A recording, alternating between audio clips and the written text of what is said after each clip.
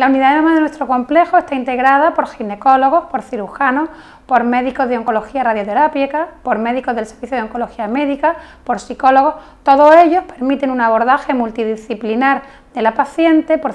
me olvida del servicio de cirugía plástica, que también es importante, lógicamente, en la reparación de este tipo de tratamientos, sobre todo cuando llevan tratamiento quirúrgico, y ello permite a la mujer beneficiarse de la visión de múltiples especialistas.